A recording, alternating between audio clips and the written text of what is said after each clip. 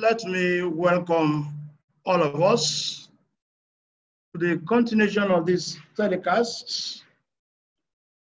Today marks the fifth slot of our study series, and we have just landed on the third chapter of the book of Nehemiah.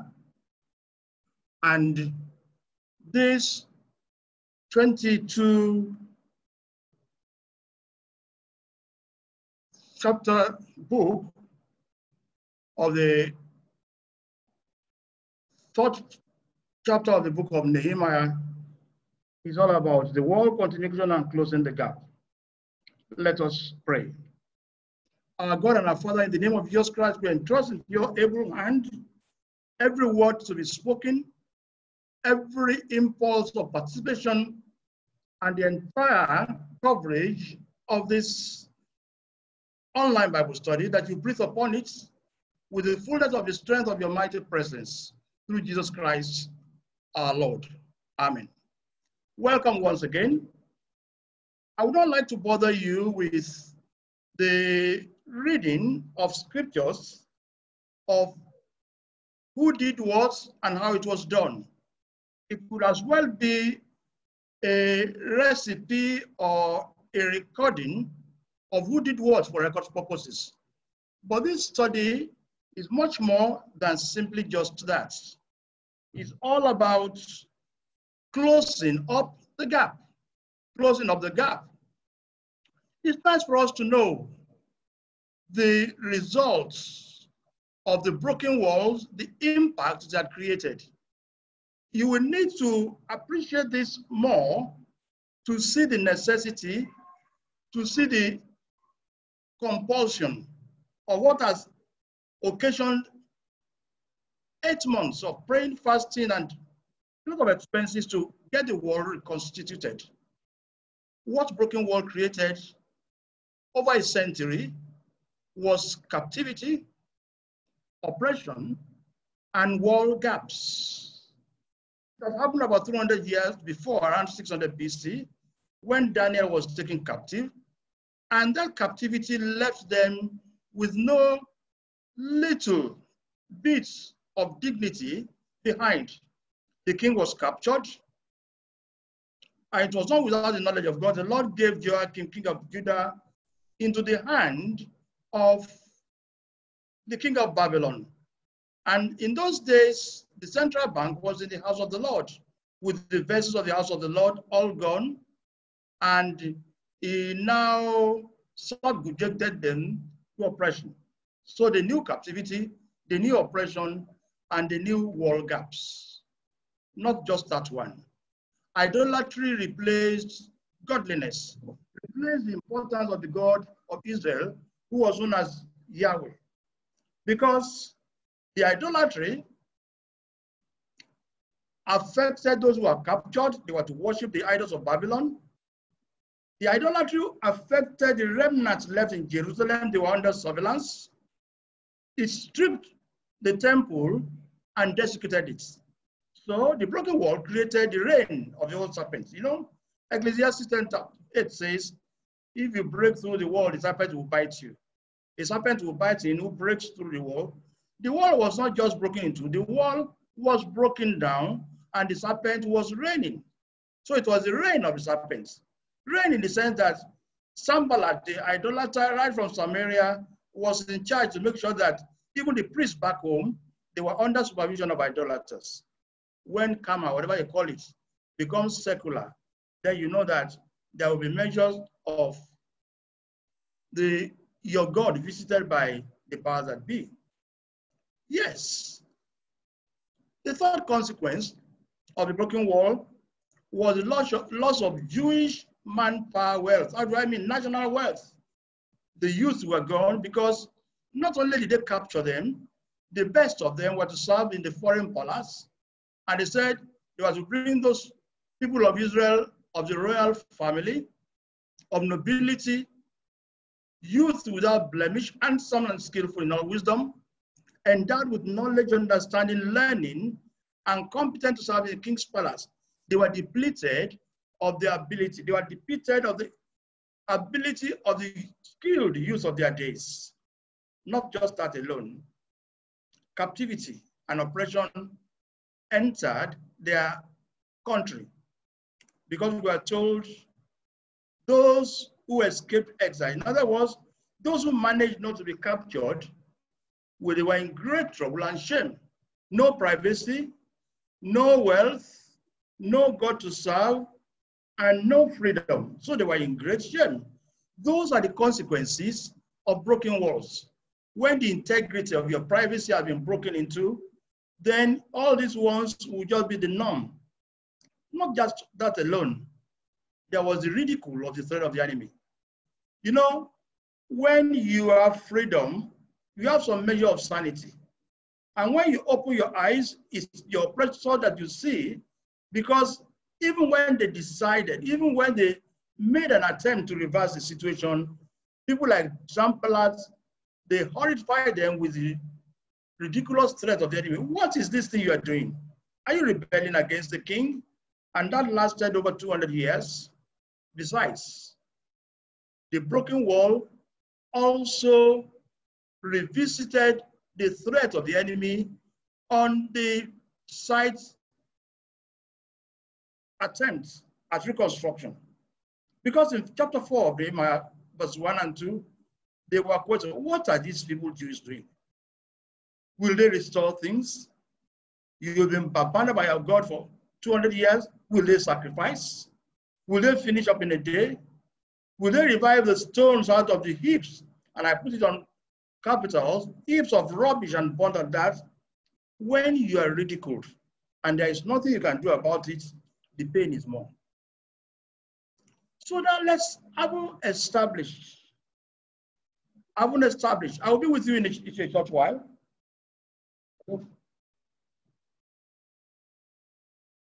Ah, are you listening? Please, if you just will excuse me, I my I'm told my screen is not shared. Let me just see how I can contact my engineers who appear not to be around. Please bear with me.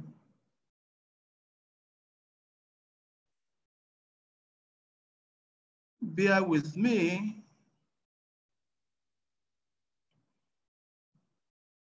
I'm trying to retrieve my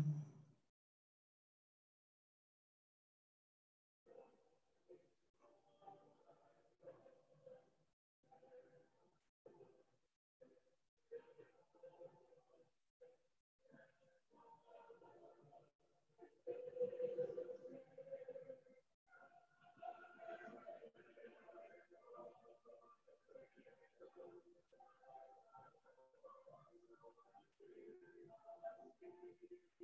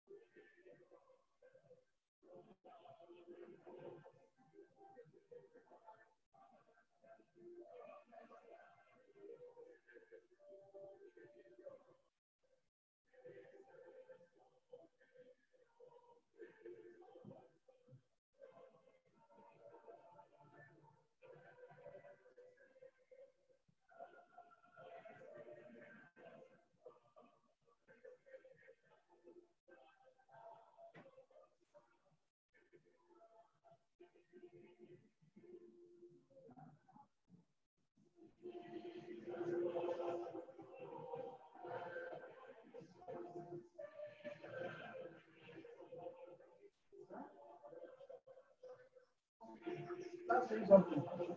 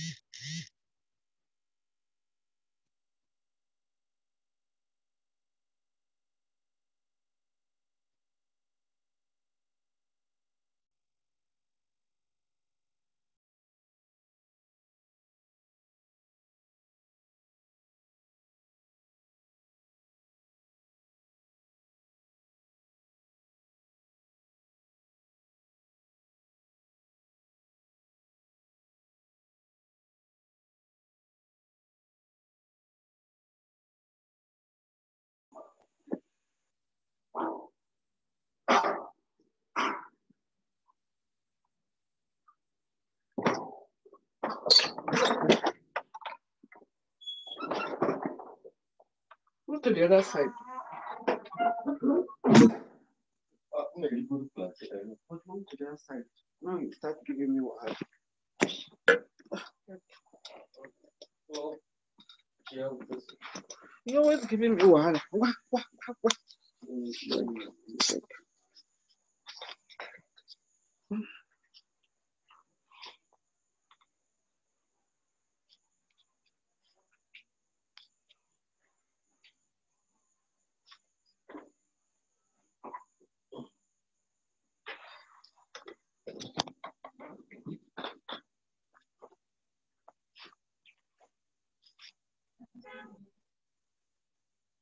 Let me just welcome you back and apologize for the break in transmission. It has been some technical faults for which I'm trying to perfect the ICT component.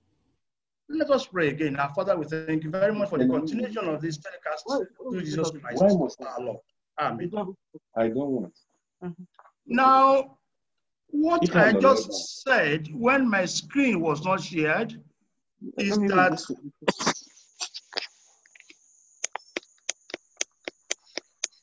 Is that closing the gap is the issue of our focus, which has become a necessity.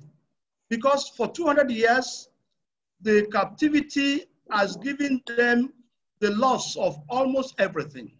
They were in captivity, they were in oppression, their world was nakedly exposed to the outside world, and that was the issue that bedeviled them chapter 4, chapter 1 of Daniel, the first four verses, talk eloquently about this one, how God gave the king, you know, to the enemies. Haven't been done with that. Sanballat also reigned as a serpent.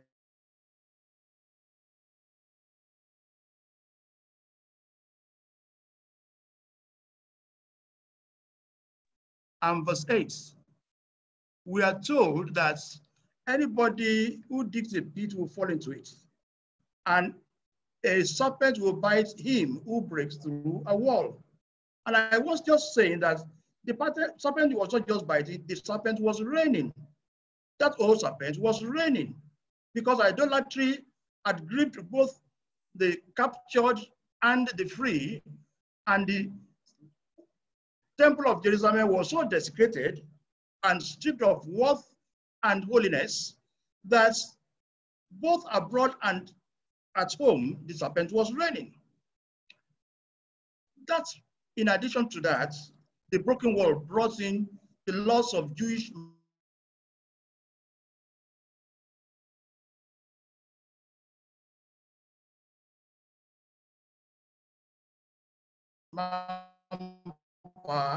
to serve in the king's palace.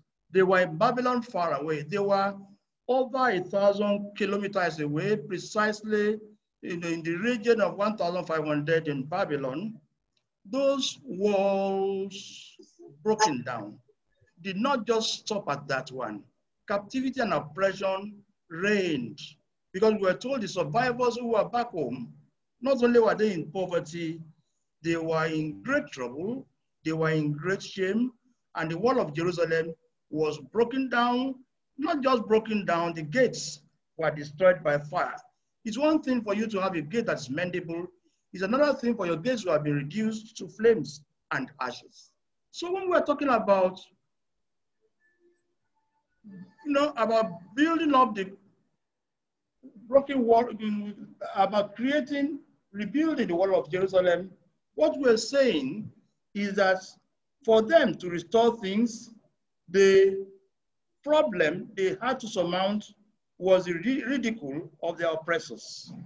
The wall of Jerusalem broken down, and home and abroad, like the one of those songs of the Psalms by the wall by river of Babylon, there were one gathered and wept when they were ridiculing us. So that was those were the consequences of the wall. Ridicule, threat of the enemy. Let me now go to a resume of seven categories of people who weather the storm of rebuilding it, of closing the gap. Because we're talking about closing of the gap. Who are those who built or rebuilt? The first very category, they are the priests. They rebuild the physical and spiritual broken wall. In chapter three of our book of study, we are told Eliashib the high priest rose up with his brethren, the priests, They built the sheep gates. They consecrated it and set its doors. They consecrated it as far as the tower of 100, as far as the tower of Hananel. So the priest rose to the challenge. Besides, if you remember Jericho, when Jericho, Jericho was captured, a few people as, were spared, not just Rahab and his family, because settlers from Jericho, those who are resettled in Jericho, they too participated next to him, the men of Jericho. That category was goldsmiths. Those were into ornaments. It did not matter what the profession was, goldsmiths participated. The fourth category were perfumers. We are told in verse 8. Next to them, Uzziel, the son of Anha, goldsmith, they repaired. One of the perfumers repaired and they restored. When you hear they restored Jerusalem as far as the broad wall, about building up the wall for a lot of meters or fraction of kilometers, they dared the challenge and came up to do their nation proud. The fifth category of those who built, they were administrators and politicians. There's always a good side of politicians, you know. They were not just going to be sweet mouths. They came up and physically were parts of the rebuilding. So you find that among the seven categories of those who did it, the last but not the least, even families that were all girls' families. Because we are told of Shalom, the son of Oesh, ruler of half of the district of Jerusalem, repaired he and his daughters. So those who were a family of all girls, they were part of the rebuilding. Gender was no longer a hindrance. And the last but not the least, altar servers, the temple servants, they came. So it did not matter who you are, what you are, and how you are, you were welcome to be part of the rebuilding. And in the rebuilding, all hands were on deck. Let me just give you a glimpse of the wall map of the Jerusalem wall. For those of you who have not been to Jerusalem, that's the shape of the temple. The shape of the temple. The shape of the temple, you can see the northern side, the sheep gates, the old gates. You could see, now you appreciate down the valley, the dung gates where dungs were. You could see the pool of Shiloh. You could see far temple, and it's just what they rebuilt in earnest. And if you have not been to Jerusalem, there's the shape of the fifth century wall of Jerusalem revisited in reconstruction. Now let's visit how these priests worked on the fence.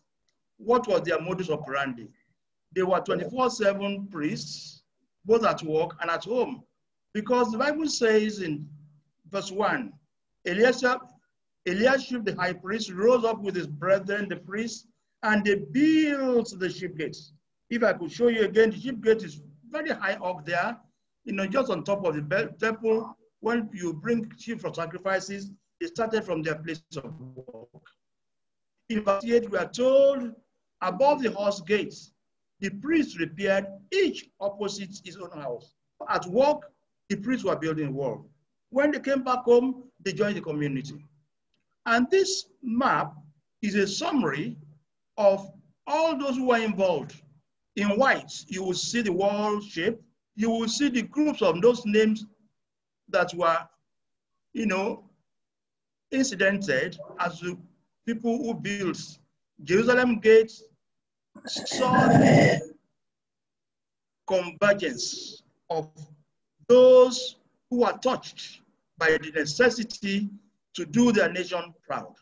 So if you were to just ignore the 22 verses of chapter 3, that on this, on this map, you will see the names and the families of those who rebuilt. But gone, how did the priests work on defense?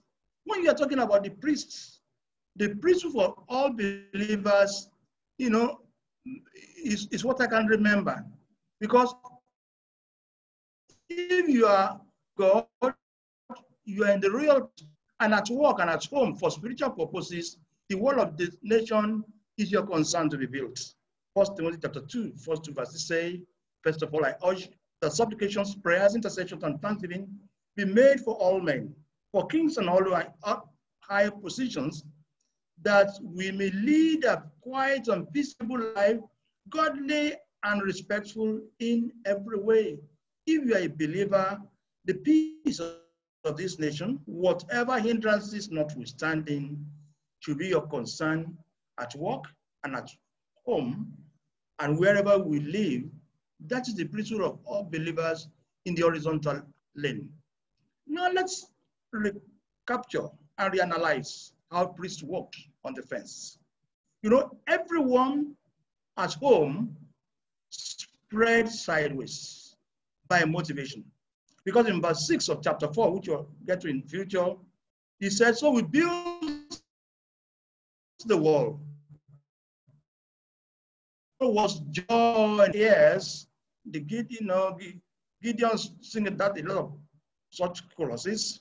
When you spread your hands sideways and you touch the other person, a wall of human flesh is built. And we join together to half its height. You know, that wall was almost 40 feet high. Half of the height of the wall of Jerusalem was 19 feet. That's about two stories. For the people who had a mind to work, When you are motivated, there's nothing that is too difficult. How did the priests build? Because they spread, they, they, they like salt, like light, they diffuse in the darkness of the environment. So the spiritual world is so big, spiritual world is so much that everyone with all prayer was, I remember there was a question in the last telecast about the insurgents. So when we're talking about spiritual work, it can be built through every, everyone with all prayer. You are praising God, you are maybe you, you, you are thanking God, you are you are, you are reciting all those for all and if you see that Timothy chapter 2, verse 1, I urge that prayers, intercessions, and thanksgiving be made for all men. So when we talk about prayers, in verse 18 of chapter 6 of Ephesians, it says, pray at all times in the spirit with all prayer. What does all prayer mean? Categories of the prayer. You can sing it, you can whisper it, you can recite it, you can think it, when you're praying to God and everybody is so involved, our security wall of this nation will no strength. How big? Now let's now come to the quantum of what they built. How big was the wall that Nehemiah built? Or how big was that wall that was rebuilt? In length, it was about four kilometers round a little over four kilometers. The average height of the wall was 12 meters, that's 39.37 feet, almost four stories of a tall wall. You know, most of our walls that you are used to these days, they are just thin walls of nine inches or one foot, which are hollow. If you have been to Israel, their walls are solid blocks. The average was 8.2 feet. You know what that means? If, let me teach you some little medicine. If you spread your hand sideways to a wall, the tip of your long or middle finger, from your middle finger to the next finger, is about your height. A man that is six feet will still be dwarfed in the thickness of the wall. And I said, it's only, it's only Goliath, who was about 9.75 feet, who will exceed the wall. Imagine you are in the wall, no wonder, you know, that, that prostitute was living in the wall. That wall was so thick that if you spread your hand in the wall, it would not even be able to get to the limits of the wall. And there were 34 watchtowers. Those were security rooms on the wall to see who are the people to be careful about when multitudes were coming. They were they had 34 watchtowers and seven main gates open for traffic. So that's the wall they built, mighty, very tall. Nobody to scale the wall of 40 feet, and it's difficult unless you have a bulldozer to easily break the wall that is about eight and a half feet in width. That's the wall.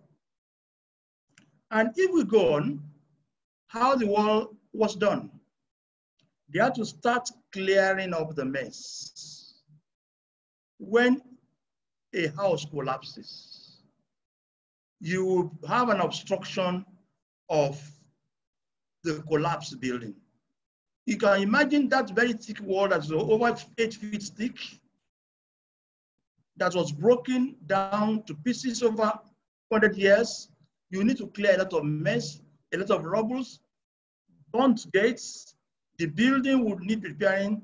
So when we're talking about they built the ship gates, a huge gate, you first of all chisel the remnants of the of the burnt wood out, they consecrated. So the priests did not only rebuild the consecrated, desecrated area, they, they were very, they were very security conscious and also they were holiness prone. Not only they just build, they dedicated it immediately.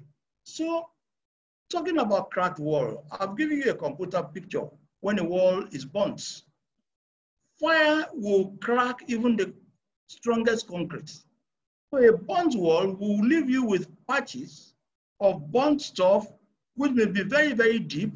And if you are looking for strength, you need to chisel out all these, all these, you know, fire will, will raise down and reduce concrete to stand. So these are the things that will assist your imagination to come closer, even if you are not the builder. That they, they, they dealt with them. Going on with how the wall was built, they had now to place and replace materials. They said one of the perfumers repaired. There will be repair. You can see the crack wall again. You chisel out those stuff and bring them out. If they have not gone into the depths of the building, you, you know, you, you replace them. If they've gone, you may have to buttonhole the entire wall and replace. They rebuilt the wall. It was by repairing and rebuilding, and it was about beam replacement. You now see the importance of timber. Jerusalem is a desert place turned into a garden, and there are no mighty trees. They had to come from 100 kilometers away. So when they are talking about replacement of beams of the 12 gates, it's quite a feat. Let me just bring you into perspective of good imagination. A man a headroom of about 14 feet. That's one and a half stories. Since the horse, unlike the vehicle, does not have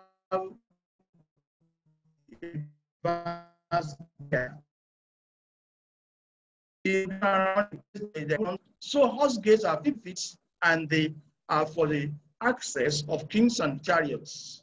Once again, let me take you to a panoramic uh, you know, overview of the wall of Jerusalem built. You could see those spots inside where priests lived, where Zadok lived all around the temple. the house. That when you come downwards towards the south, you are seeing the pool, the other areas, the King's Upper Palace. Those were the scattered areas that have been demolished and bastardized. So when we're talking about, those are just references of the computer picture downloaded. Now, how again was the wall, working on the wall done?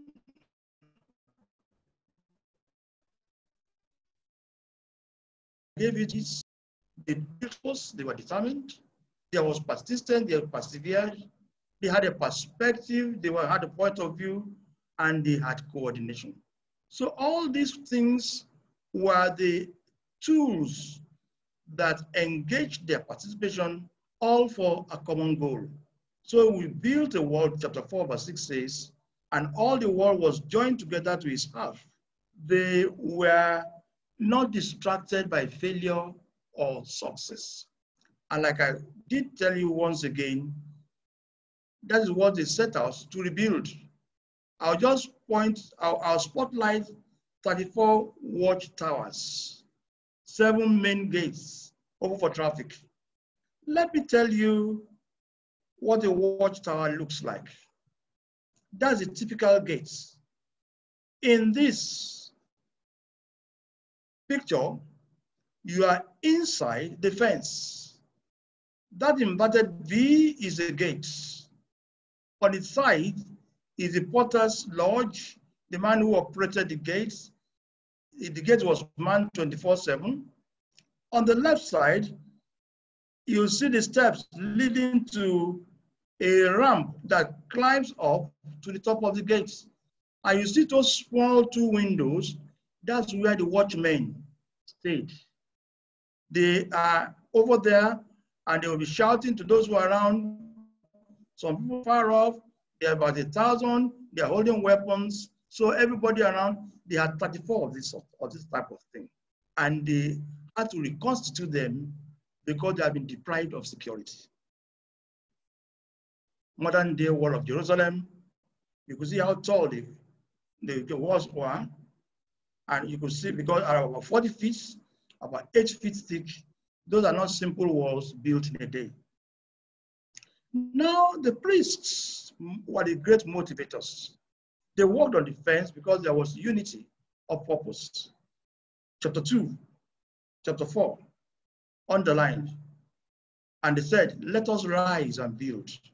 So they strengthened their hands for the good work. For the people had a mind to work. There was purpose. The present wall of the old city is that bigger frame. You see outside the smaller frame. And that's to show you ancient and modern. So when we're talking about the old gate, I'll talk about the old gate later on, which is about northwest on your left, on top. You'll find that these walls were in perpetuity of maintenance from 2,500 years ago. Now, let's, now matching information of old and new.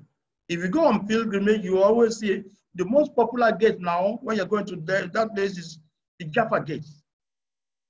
Around 1538 was when that Jaffa Gate was built. And the Jaffa Gate, it bears the inscription of the Sultan Suleiman, who, uh, who ordered this construction when they were in captivity. And the Jaffa Gate is the best known gate, is the busiest of Jerusalem's pilgrimage today. It was built facing west in the direction of the port of Jaffa that gate opens to Jaffa Road. He said that it's one of the seven main gates of the old city Jerusalem wall. The name Jaffa, both the Jaffa Gate and the Jaffa Road, they are named after the port of Jaffa, where Prophet Jonah embarked. That was the area Jonah went to the port in Jaffa. Instead of going right to Iraq, he went left towards Spain he was swallowed by the fish on the way. So how did the priests walk on the fence? Unity of purpose cannot be overemphasized. Uh, Jesus Christ told us, about the MasterCard of that visa called Unity of Interpurpose. Matthew 18, 19. Again, I say to you, if two of you agree on earth about anything they ask, it will be done for them by my Father in heaven. Unity starts from marriage. This is why Satan is attacking marriages a lot, because he does not want the Christian to have any two.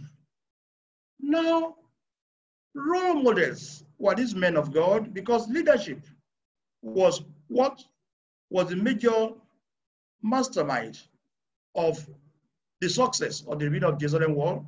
It was leadership by example in building gates.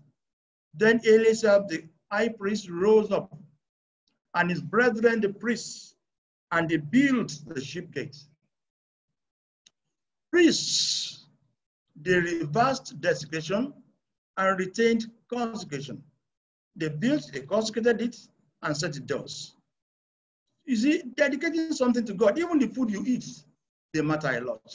So our priestly role is to make sure that we remove as much as possible in our life things that have to do with desecration and sustain to perpetuate consecration.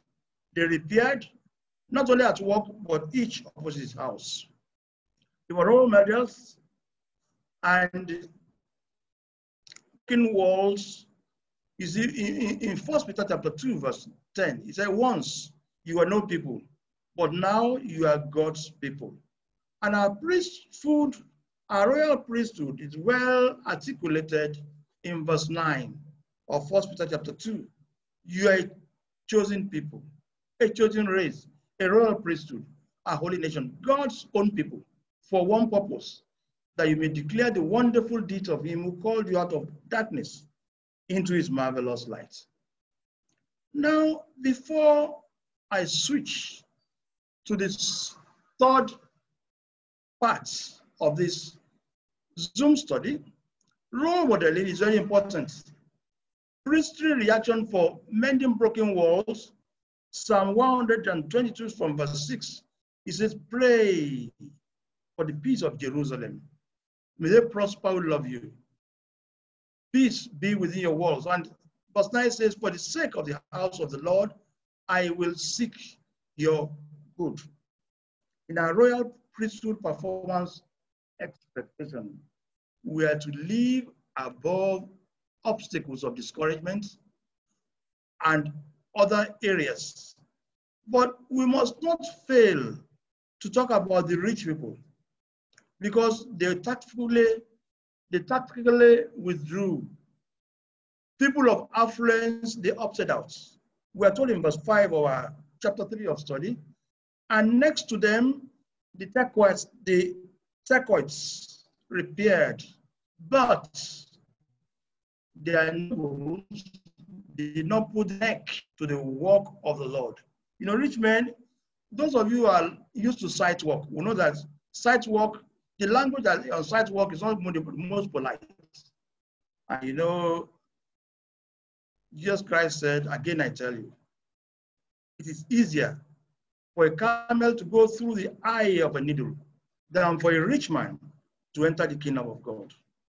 You see, talking about the rich men who opted out, the rich and mighty, they will not obey those who are appointed as officers in the work. You need to know how to talk to, see the way that's one talking to somebody. but I pastored a church, I remember. I pastored a church, it was 21 Road Festac, and we were to Sanfield, the portion that eventually is the 41 Road Church today. And I told them, if you are too handsome, don't come. If you are too rich, don't come. If you are too highly placed, don't come. But thank God they all came. And we worked on site. So most of the time, royalty, wealth, status could be, and Jesus Christ said it could be easier for the camel. So wealth occasionally could be a hindrance when it comes to condescending low to do menial jobs for God. Let's come about challenges. Now, come to your person. Where, in closing the gap, are you opting out? We have national, either on the national bro broken walls, Our security is AY. Jerusalem today, you get there, you only see some wires. And they say if you cross that wire from here to, to Arabia and around Arabian. In those days, there were thick walls. Satellites, the security gadgets are different today. But in our own national broken walls, Isaiah chapter 62 verse 7 says, give him no rest until he establishes Jerusalem and makes the praise in earth. And we are told to pray for the peace of Jerusalem. How about tribal and ethnic economic gaps? Deuteronomy 23 20 says, To a foreigner you may lend upon interest, but to your brother you shall not lend upon interest. The Lord your God may bless you in all that you undertake in the land which you are entering to take possession. We have ethnic economic gaps. Closing up information gaps. You know, most of the time we talk about ourselves rather than talking to ourselves. The Bible says, Matthew 18, 15, if your brother sins against you, go and tell him his fault. Between you and him alone. If he listens to you, you have gained your brother. That's one on one. Instead of gossiping and being defiled by not being able to ascend the hill of the Lord, he who backbites. You can, if, if that does not work, one to three or four. If he does not listen, take one or two with you, that every word may be confirmed by the evidence of two or three witnesses. Or even me to the church. So, not just physical walls are we called up to close gaps, we are to close community gaps. Where are you opting out? How about family deficiencies? The Bible says, if anyone does not provide for his relatives, and especially for his own family, he has disowned the faith and is worse than unbeliever. Where again are you opting out? There are vocational and professional responsibilities. A lot of vocational differences are making professions split apart. The, the, the, the, lawyers, the doctors, everybody wants to be boss, and factions just get on here and there. And when you are divided, your strength is weak. Intercessory gap is what you must not fail to recognize. Because God, God expressed his pain in Ezekiel chapter 22. I sought for a man among them who should build up the wall and stand in the breach before me for the land, that I should not destroy it, but I found. God does not want a gap that will lead to the destruction of souls. And it may also interest you that we have gaps of training. There are gaps of learning. There are gaps of retaining learning.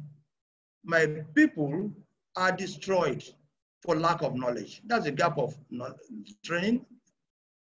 And he said, since you have forgotten the law of your God, that's a gap because of retaining knowledge. That will tell you that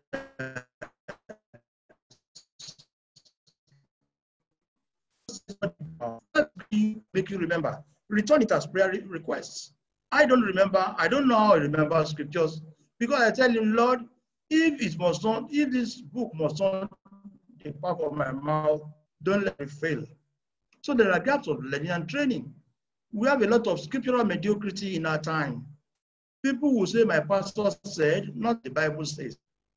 There are racial gaps. That woman at the wall of the, of the uh, that woman at the well of Samaria was saying, you know, why are you asking me? Jews have no dealing with Samaritans.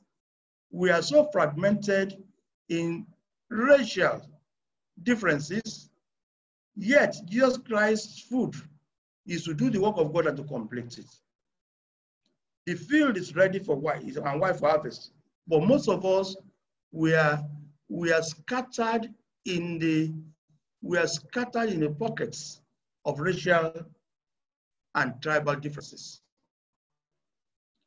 Gaps of discrimination. As far as scriptures are con- is concerned, there is neither Jew nor Greek, neither slave nor free, neither male nor female, for you are one in Christ. That's the way heaven recognizes you, because Jesus Christ is our peace, and He has made us one, and has broken down the dividing wall of hostility. If you are a child of God worth the salt, you feel at home with any white, black, yellow, green, or red, or short, or long, or tall, because he has broken down the dividing wall of hostility.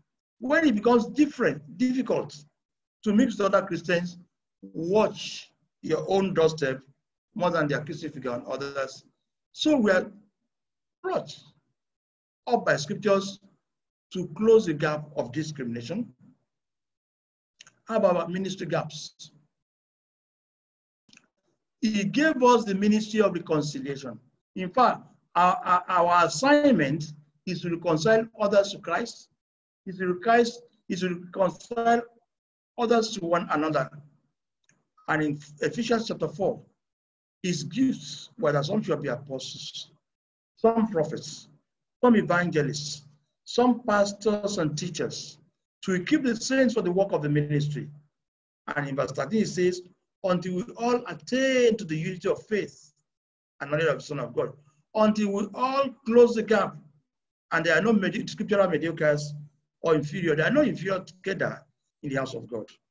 Until we get to this mature manhood, to the measure of the stature of the fullness of Christ. Let's see the challenges, our ministry gaps and dangers. You know, in Ezekiel chapter 3, that, that passage frightens me. Do you know that your social or church community ministry is a ministry that you, you your, your, your ministry to the wicked, they are tied to your salvation. He says, Son of man, I bid you a watchman for the house of Israel. Whenever you hear a word from my mouth, you shall give them warning from me. If I say to the wicked, he shall surely die, and you give him no warning, nor speak to warn the wicked from his wicked way, in order to save his life, that wicked man shall his iniquity, but his blood I will require at your hand. Don't say you are born again, it doesn't matter. Whoever is going to hell, good luck to them. When you fail to assist them on, God says you will join them in hell. That's why pastors are in hell. That's why Christians are in hell. When God says, I will require the blood from your hand, it means you have this judgment of a murderer. Ministry gaps, they are tied to your salvation. But if the wicked man, but if you want the wicked man, and he does not turn from his wickedness or from his wicked way, he shall die in his iniquity. But you will have saved your life. So your salvation is tied to your ministry to save souls. How about the backslider? How about Christians who are backsliding? Again, the Bible says, if a righteous man turns from his righteousness and commits iniquity, and I lay a stumbling block before him, he shall die because you have not warned him. He shall die for his sin, and his righteous deeds shall not be remembered. But Lord, I will require your hand. You see people messing up. Instead of correcting them, you are gossiping. You know, there are no holy gossips, you know. That one is disgracing us. Our pastor is messing up. Go and tell him, pray for him. Nevertheless, verse 21 says, if you want the righteous man not to sin, and he does not sin, he shall surely live because he took warning, and you will have saved your life. So our salvation is tied to ministry to the wicked and to the righteous backsliding.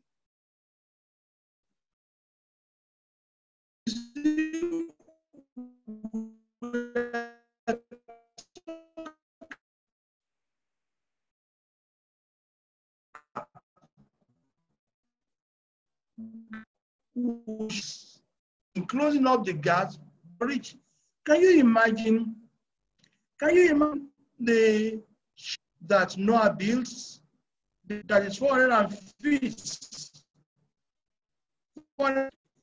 Is almost four plus long, five feet, 45 feet. How did God inspire survivor was enter in obedience? It weathered the storm of 40 continuous days raining from top and 150 floating in water. The Bible says, verse 16, and they entered, male of all flesh. And they that entered, male and female all flesh, went in as God had commanded him, and the Lord shut him in. You know what that means? The Lord closed the window on top of the ship that was so watertight that rain did not enter it. So when we close gaps within our reach, God will close the gap that is beyond our reach. Let us talk about spiritual gaps. In the days of Amos, the word of the Lord was rare in those days. There were no frequent vision. There was also the famine of the world in Amos 8:11. Behold, the days are coming, says the Lord, when I will send a famine on the land, not a famine of bread, nor thirst of water, but of hearing the words of the Lord. In our days, God is calling us like he did in Nehemiah chapter 2, verse 17. I said to them, You see the trouble we are in, how Jerusalem lies in ruins and the gates burnt. Come, let us build the wall of Jerusalem that we may no longer suffer disgrace.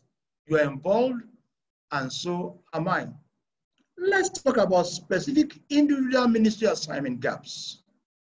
Sometimes God has called you, sometimes God has given you an assignment, and you are leaving it fallow.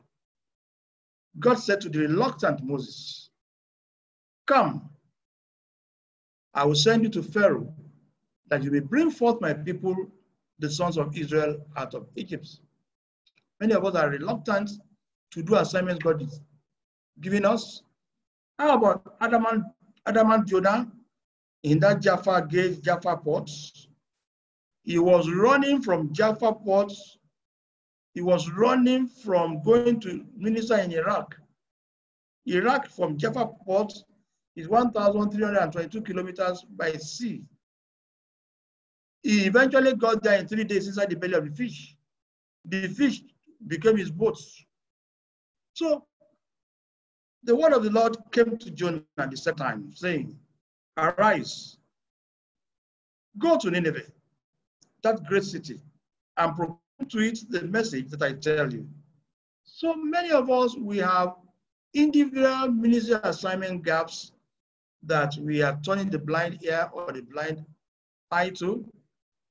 And it's also good to know in what specific areas God is sending you. God is not sending everybody to everywhere. Because the Bible says, in the days of Elijah, there were many widows in Israel, but Elijah was sent to none of them except to Zarephath, to the land of Sidon, to a woman who was a widow. It is good to know with the Lord when you're walking that your relevant gaps are built up. There are gaps of spirit-inspired import. The Bible says, whoever knows what is right to do and fails to do it for him, it is sin. So there are so many gaps we have to close. How about scriptural knowledge gap? The Bible says people are destroyed for lack of knowledge. Many of us reject knowledge. We don't make efforts to be scripture knowledge compliant. I said, because you have rejected knowledge, I reject you from being a priest.